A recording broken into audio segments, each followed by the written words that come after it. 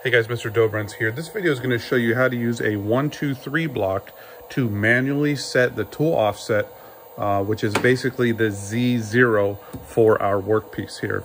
So the first thing we need to do with this machine is jog to our piece of stock.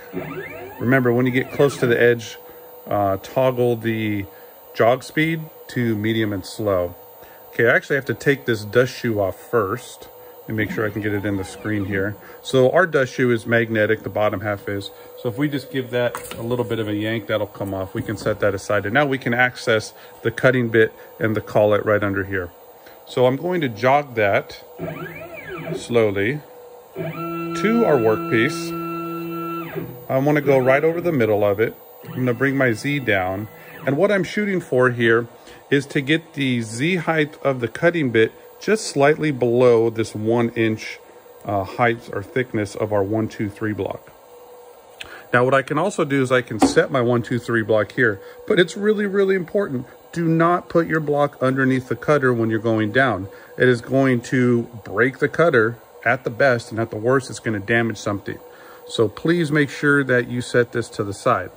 Now we wanna toggle this to slow we want to bring our Z down and it actually helps to kind of bend down and get at the level of the one, two, three block and make sure that you get the bit just below it.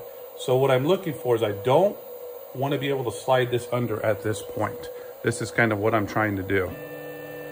All right, now very, very gently touch and make sure that you cannot slide the one, two, three block underneath the bit, which I cannot. So this is a really good starting point.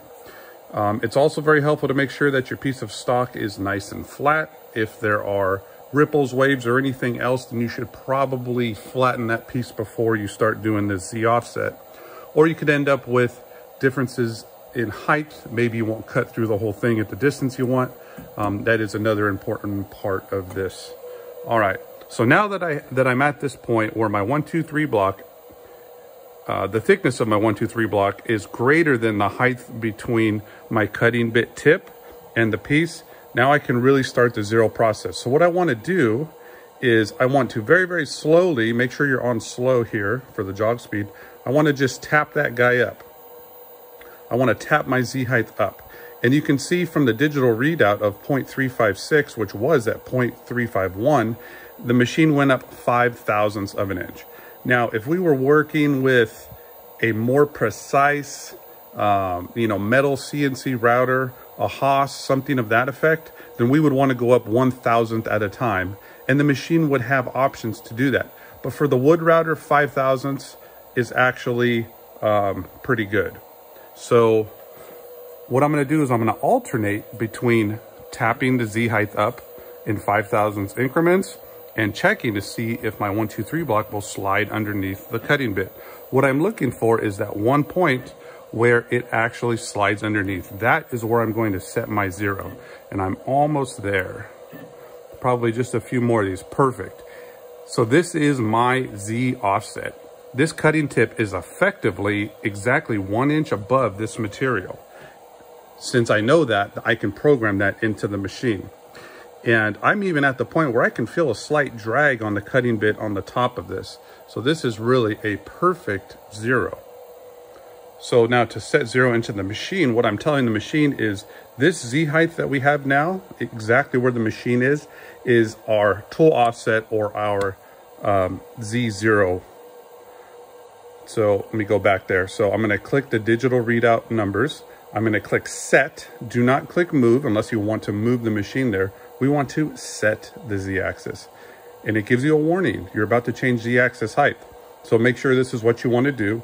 And since this is the process that we're following, it is click setup, or excuse me, I digress. Okay, so we know this cutting bit is exactly one inch above the stock. So I'm going to enter 1.0 and I'm going to click set. And what it's going to do is it's going to change that 0.399 inches where it thinks it's at just based upon where we started up the machine with one inch. So now that z-axis is correct. I would then need to make sure that I am zeroed for X and Y based on where I want to start my program. Uh, but that will be covered in a subsequent video. So remember, one more time, we know our height is one inch because that is the height of the one, two, three block. We enter one inch into the DRO and we set it. So basically we're telling the machine that it's at this height. There are also times where we would want to use that to fool the machine into thinking we're at a height that we're really not, especially when we want to test a program by doing an air cut or something like that. But that is also going to be in a subsequent video.